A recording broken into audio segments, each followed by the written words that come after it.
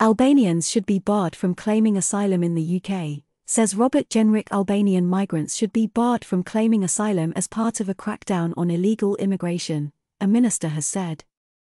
Robert Jenrick, the immigration minister, said it is very hard to see how Albanians should be able to successfully claim asylum when they come from a demonstrably safe country. The principle that we come from is that a safe country like Albania should be excluded from the right to claim asylum, he said.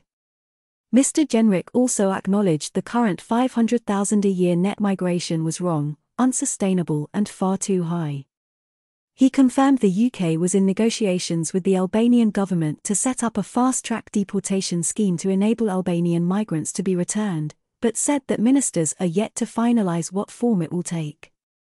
We have a returns agreement, which was signed a year ago, and 1,000 Albanians have gone back already.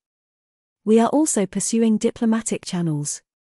I think you should watch this space, Mr. Jenrick told GB News his comments follow the first talks last week between Rishi Sunak and the Albanian Prime Minister, Edi Rama, during which they agreed to close loopholes that are preventing the rapid return of failed asylum seekers.